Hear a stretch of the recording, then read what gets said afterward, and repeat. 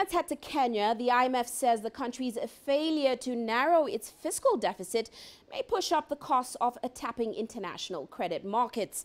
Treasury Secretary Henry Rotich has projected a funding gap of 6.8 billion US dollars for the fiscal year starting in July. Now that's about 9% of gross domestic product. Of course, the IMF says the figure is not consistent with fiscal consolidation and Kenya's budget, budget deficit has widened uh, since Uhuru Kenyatta became president in 2013. Under Kenyatta, the government has rolled out several large infrastructure projects. The IMF has advised Kenya to target a reduction of three percentage points over the next two years.